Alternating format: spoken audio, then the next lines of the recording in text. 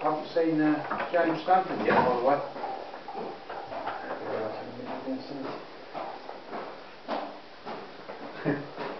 We've got enough.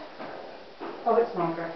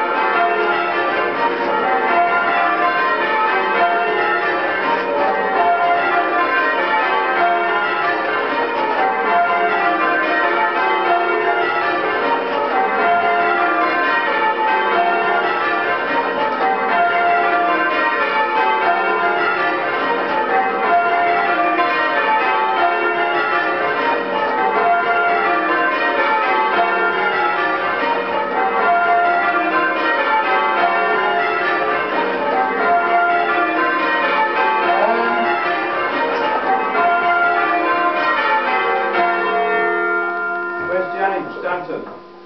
I don't know.